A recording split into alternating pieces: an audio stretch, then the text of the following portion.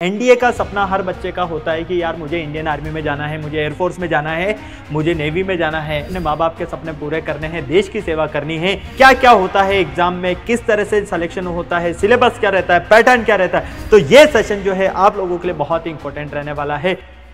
जय हिंद बच्चों, कैसे हो आप सभी? उम्मीद करता हूँ सारे बच्चे स्वस्थ है, मस्त है और तंदुरुस्त है। तो नए दिन के साथ एक नए सेशन की शुरुआत लेकर एक बार फिर से हाजिर हूँ मैं आप लोगों के बीच में। और आज बताने वाला हूँ मैं आप लोगों को बहुत ही ज़बरदस्त इंफॉर्मेशन जैसा कि आप लोगों को पता है एनडीए का सपना हर बच्चे का होता है कि यार मुझे इंडियन आर्मी में जाना है, मुझे एयरफोर्स में जाना है, मुझे नेवी में जाना है। अगर आप लोगों को भी अपने माँ बाप के सपने पूरे करने हैं, देश की सेवा करनी है तो ये सेशन जो है आप लोगों के लिए बहुत ही इंपॉर्टेंट रहने वाला है कि क्या क्या होता है एग्ज़ाम में, किस तरह से सिलेक्शन होता है सिलेबस क्या रहता है पैटर्न क्या रहता है, सारी इंफॉर्मेशन आपको एक ही जो है हमारा सेशन ये इसी में मिलने वाली है। तो जैसा कि नज़र आ रहा है आप लोगों को एनडीए क्या है, इसमें डिग्री क्या रहती है फ़ी क्या रहती है एग्ज़ाम पैटर्न इसका सिलेबस किस तरह का रहता है एलिजिबिलिटी क्राइटेरिया क्या रहता है इंपॉर्टेंट हमारे पास में डेट्स क्या क्या होती है, कि कब एग्ज़ाम होता है एस इंटरव्यू क्या होता है, सारी इंफॉर्मेशन आपको मिलने वाली है एक ही वीडियो में। तो ये जो वीडियो है आप लोगों के लिए बहुत ही ज़्यादा इंपॉर्टेंट है, इसलिए पूरे सेशन को आप लोग ध्यान से देखिएगा, क्योंकि यहाँ पर जो इन्फॉर्मेशन मिलेगी, आप लोगों को फिर वापस से नहीं मिलने वाली है। तो शुरुआत करते हैं सबसे पहले। जैसा कि आप लोगों का भी सपना होगा कि यार मुझे अपने शोल्डर्स पर स्टार चाहिए, मुझे देश सेवा करनी है माँ बाप का नाम रोशन करना है माँ बाप के सामने एक यूनिफॉर्म पहन कर जाना है, जिससे कि उनको प्राउड फील हो कि यार मेरा बेटा जो है इंडियन आर्मी में है। तो अगर आप लोगों का ये सपना है तो भैया इसको आप लोग पूरा कर सकते हो। लेकिन आप लोगों को पहले ये सारी इंफॉर्मेशन जानना बहुत ज़्यादा ज़रूरी है। तो जैसा कि आप लोग देख पा रहे हो एनडीए का फुल फॉर्म जो होता है, वो होता है नेशनल डिफेंस एकेडमी हिंदी में कहते हैं इसको हम राष्ट्रीय रक्षा अकादमी। ठीक है, इस एग्ज़ाम को कौन कंडक्ट करवाता है? तो पहले मैं बता देता हूँ, इस एग्ज़ाम को यूपीएससी कंडक्ट करवाती है। जैसे कि आई एस के जो आप लोग एग्ज़ाम देखते हो ना तो वो भी यूपीएससी कंडक्ट करवाती है तो भैया इसका भी एग्ज़ाम जो है यूपीएससी कंडक्ट करवाती है। इसके थ्रू आप इंडियन आर्मी में जा सकते हो नेवी में जा सकते हो और एयरफोर्स में जा सकते हो। ये कब से है भैया? ये है सात दिसंबर उन्नीस चौवन से है, ठीक है? और इसकी लोकेशन क्या है? लोकेशन है इसकी खड़क वासला ये खड़क वासला बोले तो पुणे में, और पुणे कहाँ है? महाराष्ट्र, ठीक है? महाराष्ट्र में। क्लियर तो ये आप लोगों को यहाँ पर समझ में आ गया होगा। ये जो आप लोग देख पा रहे हो, ये लोकेशन पूरी जो खड़क वासला है, जहाँ आप लोग ये एग्ज़ाम क्रैक करने के बाद एस एस क्रैक करने के बाद जब जाते हो तो यहीं पर आप लोगों को भेजा जाता है ट्रेनिंग के लिए। ओके तो इस एग्ज़ाम की बात कर लेते हैं भैया कि ये एग्ज़ाम कब, कैसे, क्या होता है? तो सबसे पहले मैं आपको बता देता हूँ एग्ज़ाम का जो पैटर्न रहता है, वो कुछ आपका इस तरह से रहता है रिटर्न प्लस एसएसबी मतलब कि ये एग्ज़ाम टू स्टेज में होता है। पहली स्टेज में आपका रिटर्न होगा और दूसरी जो है स्टेज इसमें आपका एसएसबी होगा। पहले आपको रिटर्न एग्ज़ाम क्लियर करना होगा, फिर आपको एस क्लियर करना होगा। एग्ज़ाम जो है, हिंदी मोड में भी होता है इंग्लिश में भी होता है, ये आपके ऊपर डिपेंड करता है कि आप कौन से मोड में देना चाहते हो। ठीक है? टोटल मार्क्स की अगर मैं बात करूँ तो ये पूरा जो एग्ज़ाम है, वो 1800 नंबर का होता है। कहने का मतलब ये है यहाँ पर कि नो यहाँ पर रिटर्न जो एग्ज़ाम है 900 नंबर का होता है और एसएसबी जो है आपका, वो 900 नंबर का होता है। दोनों को मिलाकर ये टोटल 1800 नंबर बनते हैं। अब रिटर्न एग्ज़ाम में भी आपको पता होना चाहिए कि रिटर्न एग्ज़ाम में भी दो पेपर होते हैं पेपर वन और पेपर टू पेपर वन जो है, ये होता है आपका मैथ्स का पेपर मतलब एक पेपर आपका मैथ्स का होता है इसमें और दूसरा पेपर आपका जीएटी का होता है, ठीक है? अब मैथ्स के पेपर की अगर मैं बात करता हूँ तो मैथ्स का पेपर होता है आपका 300 मार्क्स का। कितने मार्क्स का? 300 मार्क्स का। और जीएटी का पेपर जो है, ये होता है आपका 600 मार्क्स का। क्लियर अब आप लोग सोच रहे होंगे कि सर, अगर हम इसमें पढ़ लें और इसमें ना पढ़े तो हमारा काम हो जाएगा। ना भाई, एक बात ध्यान रख लेना, अगर आप लोगों का मैथ्स क्लियर है, तभी जीएटी चेक किया जाएगा, वरना जीएटी का पेपर आपका चेक भी नहीं किया जाएगा। तो पहले मैथ्स का पेपर आप लोगों को क्लियर करना है। मतलब पास होने के लिए यहाँ पर आपको पिचहत्तर नंबर लाने होंगे। कितने में से? 300 में से। और यहाँ पर आपको 150 नंबर लाने होंगे, कितने में से? 600 नंबर में से। तब जाकर आप लोग जो है एसएसबी के लिए क्वालिफाई होंगे, वरना नहीं होंगे। क्लियर अब देखो, यहाँ पर नेगेटिव मार्किंग भी होती है। नेगेटिव मार्किंग कितने मार्क्स की होती है? तो नेगेटिव मार्किंग की अगर मैं बात करता हूँ तो यहाँ पर minus zero point eight three marks की नेगेटिव मार्किंग होती है। और यहाँ पर one point three three something ऐसे कुछ नेगेटिव मार्किंग होती है, या वन पॉइंट एट थ्री करीबन ऐसे कुछ होती है। ठीक है? क्लियर दोनों में आपकी नेगेटिव मार्किंग यहाँ पर होती हैं। इस बात का आप लोगों को ध्यान रखना है। क्लियर तो देखा आपने 900 नंबर में रिटर्न में क्या है? 300 नंबर का आपका जो है मैथ्स है और 600 नंबर का आपका जीएटी है। इसमें पूरे मैथ्स ही पूछा जाता है। मैथ्स के 120 क्वेश्चन यहाँ से पूछे जाते हैं। कितने क्वेश्चन पूछे जाते हैं मैथ्स के? 120 क्वेश्चन और एक क्वेश्चन जो है, वो 2.5 मार्क्स का होता है। कितने मार्क्स का? 2.5 मार्क्स का। यहाँ पर आप लोगों से टोटल 150 क्वेश्चन पूछे जाते हैं और एक क्वेश्चन आपका जो है, वो रहता है चार मार्क्स का। कितने मार्क्स का? चार मार्क्स का। क्लियर अगर आप देखते हो यहाँ पर ध्यान से तो मैथ्स में आप लोगों का कंप्लीट मैथ्स आता है, वो आप लोगों का इलेवंथ और ट्वेल्थ क्लास का मैथ्स यहाँ पर पूछा जाता है। सेकंड जीएटी के पेपर में आपका फिजिक्स आपका इंग्लिश आपका बायो आपका हिस्ट्री ज्योग्राफी सोशल साइंस में लिख देता हूँ यहाँ पर। ठीक है, आपका करंट अफेयर और आपका एम मेट मेंटल एबिलिटी ये पूरा आप लोगों से यहाँ पर पूछा जाता है सेकंड पेपर में। फ़र्स्ट पेपर आप लोगों को क्लियर करने में दिक्कत नहीं होती है सेकंड पेपर में बच्चों के मार्क्स ज़्यादा आ जाते हैं, लेकिन फ़र्स्ट पेपर की वजह से सिलेक्शन बच्चों का रुक जाता है। तो मेहनत जो आपको करनी है, वो फ़र्स्ट वाले पेपर पर करनी है। यहाँ पूरा स्ट्रेटेजी प्लान आप लोगों के पास में होना चाहिए, क्योंकि बिना प्लान के आप लोग जो है एनडीए क्रैक नहीं कर सकते हो भाइयों। इसका ध्यान रख लेना, पहले सारी इन्फॉर्मेशन आप लोगों को पता होना चाहिए। तो physics English bio social science current affair mental ability ये सारा जो पार्ट है, ये सेकंड पेपर का है। यहाँ फ़र्स्ट पेपर में आपका आता है मैथ्स मैथ्स आपका सबसे ज़्यादा इंपॉर्टेंट पार्ट है, ध्यान रखना। अगर ये पार्ट आपका क्लियर नहीं हुआ तो इसको चेक भी नहीं किया जाएगा, ये मैंने आपको बता दिया है। यहाँ पर अगर मैं बात करूँ एनडीए में सबसे इंपॉर्टेंट सब्जेक्ट की तो पहला इंपॉर्टेंसी रखता है मैथ्स ठीक है? क्या रखता है पहला पेपर मैथ्स इंपॉर्टेंसी रखता है। दूसरा जो इंपॉर्टेंट सब्जेक्ट होता है, वो होता है आपका इंग्लिश क्लियर 200 नंबर का यहाँ पर इंग्लिश आता है और तीसरा जो है, वो होता है यहाँ पर आपका फिजिक्स ये ध्यान रख लेना। और ये इंग्लिश कोई आपकी जो है नॉर्मल इंग्लिश नहीं आती है, पहले मैं बता देता हूँ, ठीक है? तो इंग्लिश जो है आपकी अच्छी खासी लेवल की आती है तो इंग्लिश पर आपको फोकस करना है फिजिक्स पर आपको फोकस करना है, और मैथ्स पर सबसे ज़्यादा फोकस करना इस बात का ध्यान रख लेना आप लोग, वरना दिक्कत हो जाएगी। कहना मत की बार बाद में कि सर हमें तो ये पता ही नहीं था। पहले मैंने आप लोगों को इसीलिए ये सारी इन्फॉर्मेशन यहाँ पर दी है, ठीक है? इंग्लिश कैसे पढ़नी है, क्या करना है, वो भी मैं अभी आपको आगे बताने वाला हूँ, ठीक है? नेक्स्ट अगर हम इसके आगे की बात करें अगला आता है आपका सेकंड स्टेप एसएसबी इंटरव्यू का। ये एसएसबी इंटरव्यू होता है 900 मार्क्स का। कितने मार्क्स का? 900 मार्क्स का। जिन बच्चों का रिटर्न जिन बच्चों का रिटर्न क्लियर होता है, उन बच्चों को एसएसबी इंटरव्यू के लिए भेजा जाता है और ये एसएसबी इंटरव्यू जो है पूरे पाँच दिन चलता है। कितने दिन? फाइव डेज़ आपका एसएसबी इंटरव्यू यहाँ पर होता है। तो सबसे पहले हम देख लेते हैं एलिजिबिलिटी क्राइटेरिया क्या होता है। तो भाई ये एग्ज़ाम जो है साल में दो बार होता है। कितने बार होता है? टू टाइम्स होता है ये एग्ज़ाम। एनडीए का एग्ज़ाम साल में दो बार होता है। एक तो अप्रैल में होता है आपका और एक सितंबर में होता है।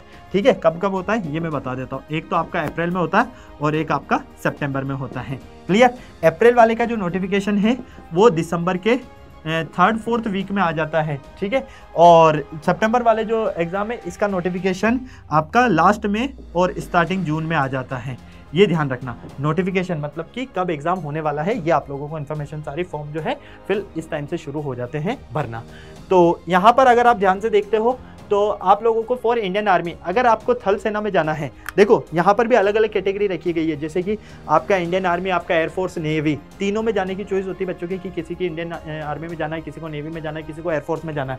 अगर आपका सपना है इंडियन आर्मी में जाने का तो आपका ट्वेल्थ पास होना चाहिए किसी भी सब्जेक्ट से मतलब कि चाहे आप आर्ट्स वाले हो, चाहे आप कॉमर्स वाले हो, यहाँ पर आर्ट्स वाले भी चलेंगे, यहाँ कॉमर्स वाले भी चलेंगे और यहाँ साइंस वाले भी चलेंगे, ठीक है?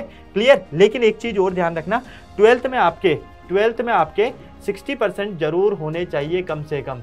ठीक है, कम से कम 60 परसेंट आपके क्लास ट्वेल्थ में ज़रूर होने चाहिए। अगर आपका सपना नेवी में जाने का है तो आपको एक बात ध्यान रखना है। अगर आपका सपना एयरफोर्स में जाने का है तो आपको एक बात का ध्यान रखना है। क्लास ट्वेल्थ में आपका फिजिक्स और मैथ्स होना कंपलसरी है। अगर आपको इंडियन आर्मी में जाना है मतलब थल सेना में जाना है तो आप आर्ट्स बैकग्राउंड से हो कॉमर्स से हो साइंस से हो, कोई फ़र्क नहीं पड़ता। है क्लास ट्वेल्थ में साठ होने चाहिए। लेकिन लेकिन लेकिन अगर आपको एयरफोर्स और नेवी में जाना है तो आपका ट्वेल्थ में फिजिक्स और मैथ्स होना कंपलसरी है, ठीक है? ये ध्यान रखना सिलेबस सबके लिए सेम रहता है, चाहे आर्ट्स वाला हो, चाहे कॉमर्स वाला हो, चाहे साइंस वाला हो, चाहे बायो वाला हो। बायो वाला बच्चा भी एनडीए का एग्ज़ाम दे सकता है, ये ध्यान रख लेना, ठीक है?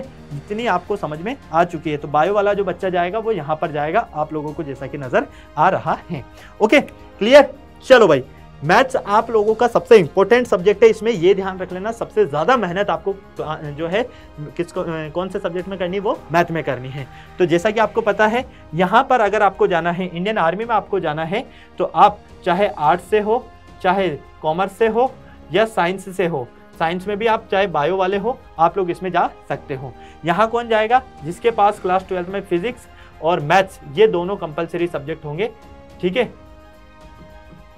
वही आप लोगों को जो है यहाँ पर राफेल उड़ाने का मौका मिलेगा, वरना नहीं मिलेगा, क्योंकि नेवी तो इसमें एयरफोर्स में तो आप तभी जाओगे। नेवी की अगर मैं बात करूँ तो नेवी में भी आपके पास क्लास ट्वेल्थ में एक तो मैथ्स होनी चाहिए और एक आपके पास फिजिक्स जो है, ये कंपलसरी होनी चाहिए। क्लियर अगर आपने क्लास ट्वेल्थ में ट्वेल्थ क्लास के साथ में आप एग्ज़ाम दे सकते हो और आपका रिज़ल्ट आ जाना चाहिए इसका रिज़ल्ट आता है तब तक एनडीए का रिज़ल्ट आता है तब तक, और साठ परसेंट आपके होने चाहिए। देन फिर आप लोगों को क्या जो है, आगे की पढ़ाई यहीं पर करवाई जाती है। अगर आप समझना ध्यान से इंडियन आर्मी में जाना चाहते हैं, थल सेना में तो आप लोगों को यहाँ पर बीए करने का मौका मिलेगा बीएससी करने का मौका मिलेगा, साथ ही बीएससी कंप्यूटर साइंस करने का आपको मौका मिलता है। अगर आप नेवी में जाना चाहते हो तो आपको यहाँ पर इंजीनियरिंग करवाई जाएगी एयरफोर्स में जाना चाहते हो तो आपको यहाँ पर बीटेक करवाया जाएगा, ठीक है? साथ ही साथ आपको यहाँ पर कंप्यूटर साइंस से जो है, यहाँ पर इंजीनियरिंग करने का मौका मिलेगा मैकेनिकल से आप लोगों को इंजीनियरिंग करने का मौका मिलेगा, ये चीज़ें आप लोगों को यहाँ पर ध्यान रखनी है। ओके पोस्ट आफ्टर ग्रेजुएशन आपकी ग्रेजुएशन भी कंप्लीट हो गई, ठीक है? आपने आगे की पढ़ाई भी कर ली यहाँ पर खड़क वासला पुणे भेजा जाता है, ठीक है? देन आपने आगे की पढ़ाई भी कर ली। तो फिर क्या है भैया? आर्मी में कौन कौन से रैंक पर आप लोग जा सकते हो? नेवी में कौन से रैंक से आप जा, पर जा सकते हो? एयरफोर्स में आप कौन से रैंक पर जा सकते हो? तो भाई देखो ध्यान से स्टार्टिंग कुछ इस तरह से इनकी। स्टार्टिंग पहली रैंक जो आती है वो लेफ्टिनेंट की आती है। किसकी आती है? लेफ्टिनेंट की। लेफ्टिनेंट से नीचे अगर हम देखते हैं तो चार से पाँच रैंक और होती हैं। जैसे कि सूबेदार हवलदार लांस नायक ये सारी है ना? तो लेफ्टिनेंट आपके पास पहली पोस्ट जो मिलेगी वो आपको मिलेगी लेफ्टिनेंट फिर आपको प्रमोशन होकर कैप्टन बनाया जाएगा मेजर बनाया जाएगा लेफ्टिनेंट कर्नल बनाया जाएगा कर्नल सलेक्शन बनाया जाएगा। कर्नल टीम स्केल बनाया जाएगा। इस तरह से ब्रिगेडियर मेजर जनरल तक आप लोग यहाँ पर जाओगे। किसमें? आर्मी में। नेवी में सब लेफ्टिनेंट से शुरुआत होगी। लेफ्टिनेंट फिर, लेफ्टिनेंट कमांडर, फिर commander, captain selection captain time scale. इस तरह से आपका प्रमोशन आगे होता जाएगा। इसी तरह से नेवी ऑफिसर में आप लोगों को देखने को मिल रहा है। फ्लाइंग ऑफिसर, फिर फ्लाइंग फ़्लाइट लेफ्टिनेंट मिलेगा। फिर स्क्वाड्रन लीडर मिलेगा, विंग कमांडर मिलेगा, ग्रुप कैप्टन मिलेंगे। इस तरह से आपका प्रमोशन होता जाता है। तो पहली पोस्ट ये है, फिर उससे आगे बड़ी पोस्ट ये फिर उससे बड़ी उससे बड़ी उससे बड़ी, ये आप लोगों के प्रमोशन वाली पोस्ट मिलती जाएगी। ठीक है? इसके आगे अगर मैं बात करता हूँ तो सैलरी क्राइटेरिया क्या रहता है? किसको कितनी सैलरी मिलती है? तो लेफ्टिनेंट की जो सैलरी है, वो छप्पन हज़ार सौ से शुरू होती है और एक लाख सतहत्तर हज़ार सौ तक जाती है। ठीक? नेक्स्ट अगर कैप्टन की सैलरी की बात करें, इकसठ हज़ार तीन सौ से एक लाख तिरानवे हज़ार नौ सौ रुपये तक उनको मिलता है। आगे, मेजर की सैलरी की अगर हम बात करते हैं तो उनसत्तर हज़ार चार सौ रुपये से दो लाख सात हज़ार दो सौ रुपये तक मिलता है। लेफ्टिनेंट कर्नल को एक लाख इक्कीस हज़ार दो सौ से दो लाख बारह हज़ार चार सौ रुपये तक। कर्नल को एक लाख तीस हज़ार छः सौ से दो लाख पंद्रह हज़ार नौ सौ रुपये तक। इस तरह से आप लोगों को जो है, आगे तक का पूरा यहाँ पर सैलरी नज़र आ रहा है। ओके, नेक्स्ट, फ़िज़िकल एलिजिबिलिटी क्या है? है ना? चलो भाई, आपने रिटर्न टेस्ट भी क्लियर कर लिया, सारी चीज़ें क्लियर कर ली। लेकिन फिजिकली तो आपका फिट होना बहुत ज़्यादा ज़रूरी है। तो भैया, आप लोगों को यहाँ पर मैं बताने वाला हूँ फ़िज़िकल फिट के लिए क्या है भैया सेम पहले तो आपको फिजिकली और मेंटली फिट होना ज़रूरी है।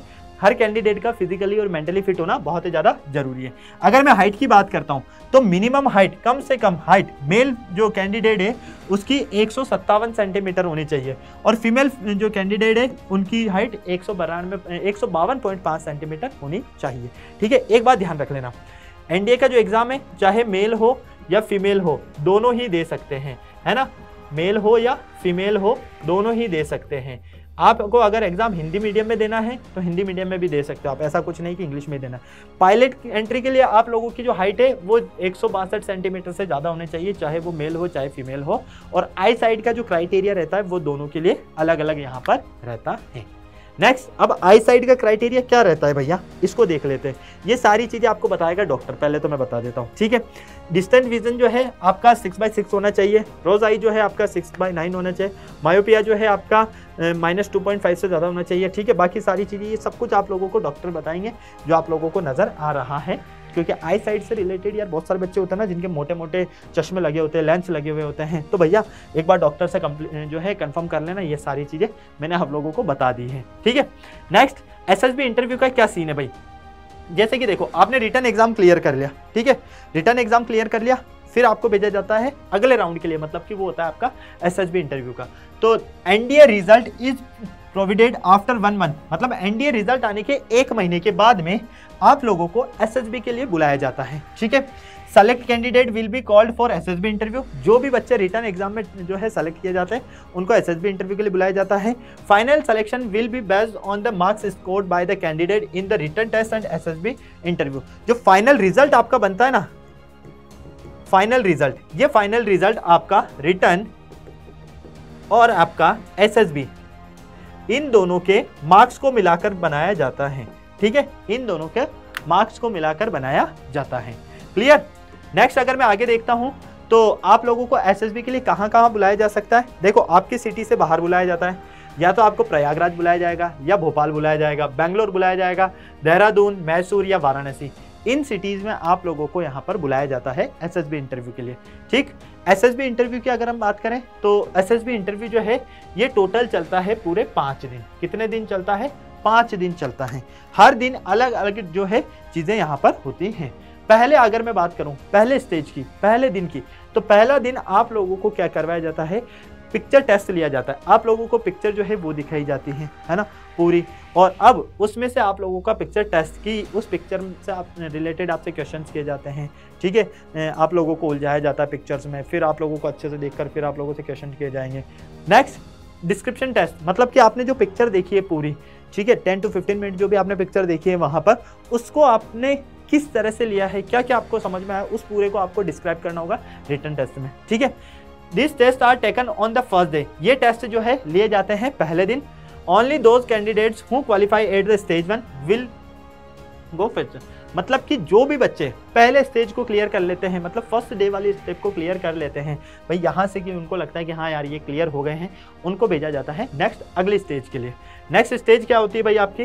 नेक्स्ट स्टेज होती है यहाँ पर साइकोलॉजी टेस्ट स्टेज सेकंड में आपका सेकंड डे में साइकोलॉजी टेस्ट लिया जाता है, आपको घुमाया जाता है पजल्ड किया जाता है, आपको लिए सिचुएशन क्रिएट की जाती है। ठीक है? तो वहाँ पर आपका पूरा होता है साइकोलॉजी टेस्ट आपके दिमाग का टेस्ट लिया जाता है तबियत से। नेक्स्ट होता है आपका थर्ड डे थ्री में ग्रुप टेस्टिंग ऑफिसर टास्क है ना? ग्रुप टेस्टिंग होगा ऑफिसर टास्क देंगे, वो आप लोगों को कंप्लीट वहाँ पर करने होंगे। फोर्थ डे की अगर मैं बात करता हूँ तो इसमें होते हैं आपके इंटरव्यूज़ है ना? आप लोगों से पर्सनल क्वेश्चंस किए जाते हैं और फिफ्थ डे में होती हैं आप लोगों की कॉन्फ्रेंस ठीक है? क्या होती है? कॉन्फ्रेंस होती है। तो ये प्रोसेस रहता है पूरे पाँच दिन का। कितने दिन का रहता है? पाँच दिन का आपका ये पूरा प्रोसेस रहता है। क्लियर चलो भाई, अब यहाँ पर हम बात करते हैं सिलेबस की। तो देखो, मैंने जैसा कि आप लोगों को बताया था कि मैथ्स पार्ट सबसे ज़्यादा इंपॉर्टेंट होता है। तो मैथ्स में क्या क्या पूछा जाता है भैया? रिटर्न टेस्ट में मैथ्स के एग्ज़ाम में क्या क्या पूछा जाता है? तो सबसे पहला पार्ट आता है आपका एलजेब्रा का। अब एलजेब्रा पार्ट में आपसे क्या पूछा जाता है? सेट थ्योरी संबंध फलन से रिलेटेड क्वेश्चन किए जाते हैं और संबंध एवं फलन हो गया आपका, समुच्चय हो गया, इनसे रिलेटेड क्वेश्चन किए जाएँगे। लघु गुणक से रिलेटेड लोगेथम से रिलेटेड द्विघात समीकरण से रिलेटेड एपी जीपी एचपी से रिलेटेड क्रमचय संचय से रिलेटेड और बाइनोमियल थ्योरम ये पूरा पार्ट होता है आपका एलजेब्रा पार्ट इसमें से क्वेश्चन आपसे किया जाता है। नेक्स्ट पार्ट आता है आपका त्रिकोण तो त्रिकोण में से क्या क्या पूछा जाता है? एंगल एंड ट्रिग्नोमेट्रिक फ़ंक्शन आप लोगों से पूछा जाएगा। इन्वर्स ट्रिग्नोमेट्रिक फ़ंक्शन आप लोगों से पूछा जाएगा। हाइट एंड डिस्टेंस आप लोगों से पूछी जाएगी। प्रॉपर्टीज़ ऑफ़ ट्राइंगल ये आप लोगों से पूछा जाएगा। नेक्स्ट आता है इंटीग्रेशन समाकलन, है ना? तो इनडेफिनेट इंटीग्रल अनिश्चित समाकलन पूछा जाता है। डेफिनेट इंटीग्रल पूछा जाता है। निश्चित समाकलन वक्रों द्वारा परिबद्ध क्षेत्रफल और अवकल समीकरण, ये आप लोगों से पूछा जाता है। अगला आता है टू और थ्री डी में जामिति और में जामिति तो इसमें आपका समकोण कार्तीय निर्देशांक आता है, सरल रेखा स्ट्रेट लाइन आती है, वृत्त आता है, कोनिक सेक्शन आता है और थ्री डायमेंशन ज्योमेट्री, ये आप लोगों से यहाँ पर पूछा जाता है। इसके अलावा आपसे प्रायिकता से रिलेटेड क्वेश्चन, सदिश से रिलेटेड क्वेश्चन, सांख्यिकी से रिलेटेड क्वेश्चन भी आप लोगों से यहाँ पर किए जाते हैं। इसमें मैथ्स के सिलेबस में अगर सबसे इंपॉर्टेंट मैं बताऊँ तो आप लोगों का क्लास इलेवेंथ और क्लास ट्वेल्थ ये दोनों सबसे ज़्यादा इम्पोर्टेंट है मैथ्स के लिए, ठीक है? किसके लिए? मैथ्स के लिए। मैथ्स अगर आपको स्ट्रॉन्ग करनी है तो शुरुआत कर देनी है आपको एन e से, ठीक है? एन e से यहाँ पर जो है आप लोगों से को अच्छे से स्ट्रॉन्ग कर लेना है, क्योंकि बेसिक स्ट्रॉन्ग होगा तो आप लोग जो है अच्छे से एग्ज़ाम की प्रिपरेशन कर पाओगे। अगर आपको सपना पूरा करना है तो अभी से आप लोगों को अपनी तैयारी शुरू कर देनी चाहिए। तो ये आप लोगों को मैंने इसकी जो है सारी जानकारी आप लोगों को दे दी है।